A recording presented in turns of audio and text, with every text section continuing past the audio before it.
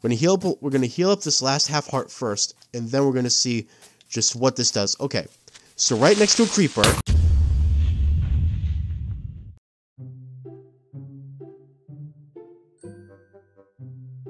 What up, everyone? It's your boy FlozMG back in the world of Minecraft.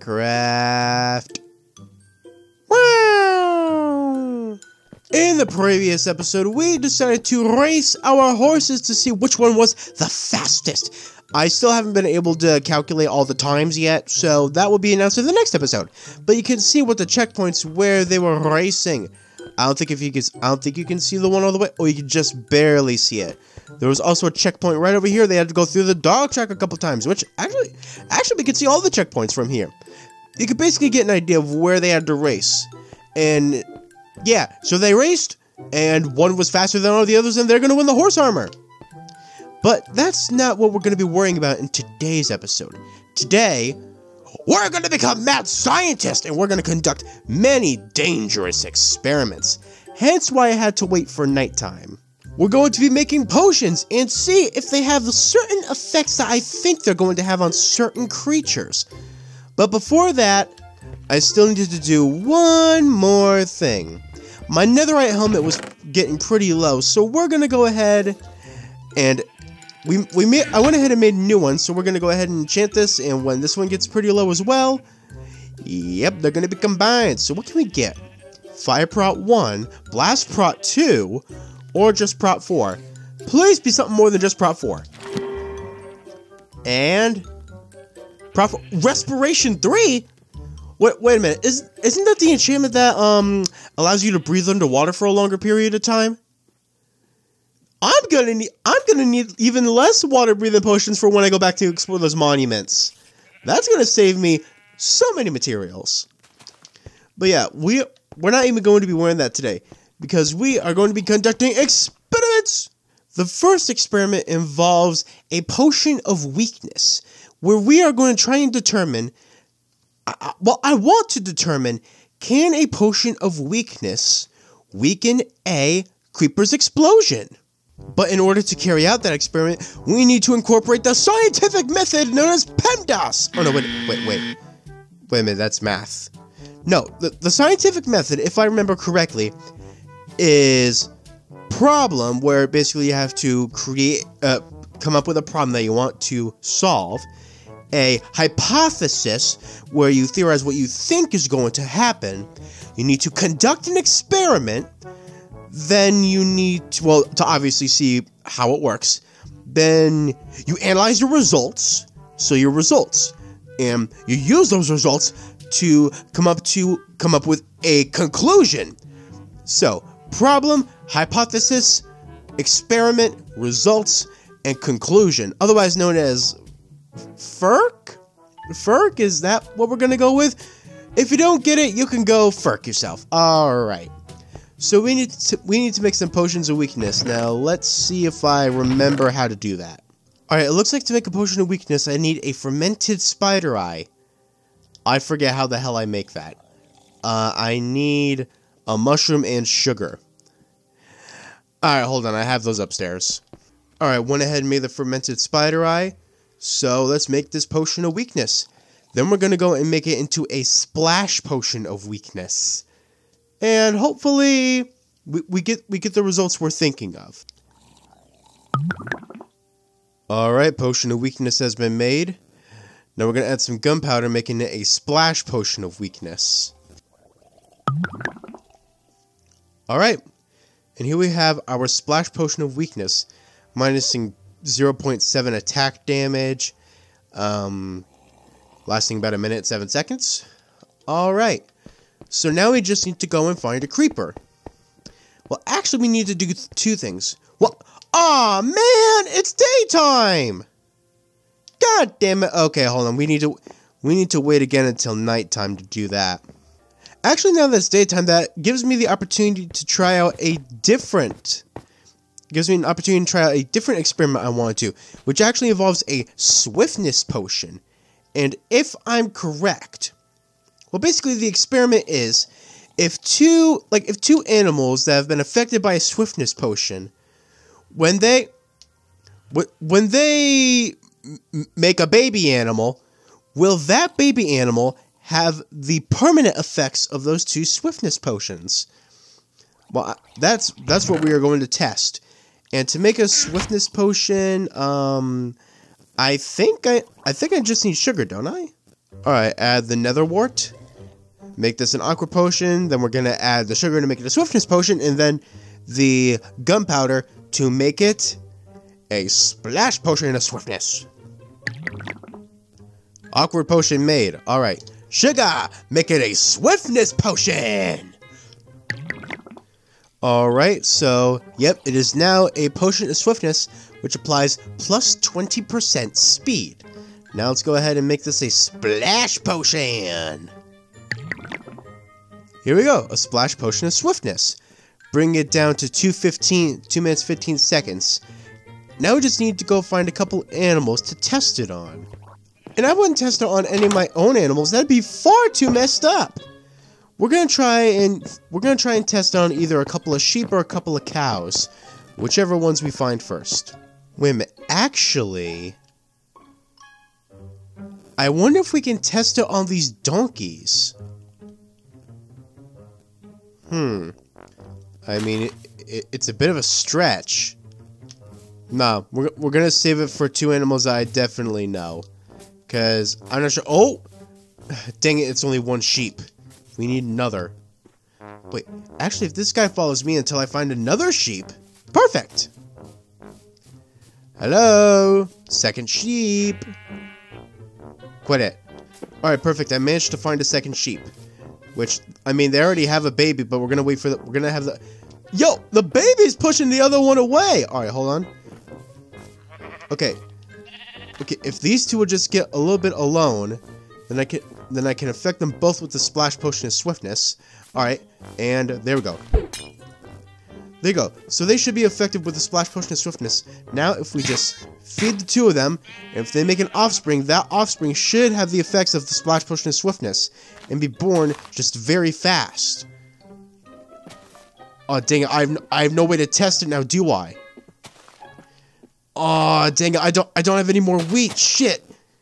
Oh, I didn't think I didn't think this test through.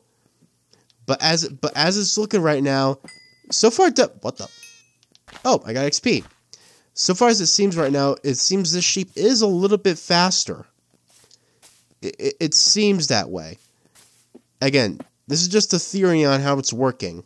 Well, since I brought the improper oh wait, wait, wait. Wait a minute. He did seem he did seem as fast as that sheep, but with no effects. Um it's not seeming like it. It seems like they were going the exact same speed. Okay, wait for them to walk a little bit more and Okay, walk a little bit more. Uh man, it it just seems like they were going the exact same speed unless well they're both following this one sheep. We need to observe a little bit more. It's not seeming like this sheep is any faster. It, do- it doesn't seem like it. So unfortunately, I believe we're going to have to deem this experiment with results negative. For this experiment, anyway. It seems when testing a potion of swiftness on sheep and having them breed to make a faster sheep, it seems that the results of that are not. It is a negative. But it is nighttime, and I gotta say, I love this sky. I love this sky right now. But alright, time to test out the next experiment. Potion of weakness on a couple creepers. Alright, but first up, we're going to need a control, which, oh come on, why the hell are you two here? Why are you three here? Die! Oh yeah, fight each other, fight, okay. Dang, I thought you were gonna fight each other, alright. Uh, well, shit, got a bad omen. Oh well. That's not what I wanted to happen. You interrupted my experiment! Alright, but perfect. A couple creepers. So now, wait, actually, I don't want to do it. I don't want to do it near the theme park, though. So we're going to do it away. I, hey, more potion ingredients. Thank you so much, witch. Alright, so let's test it somewhere away from everything. And just hope that a couple of creepers will spawn. Oh, another witch. More potion ingredients. Oh, why did I should test a I should test an experiment on a witch. But I'm not smart enough to do that. All right, where is perfect? Okay, this will get it. This will get us our control.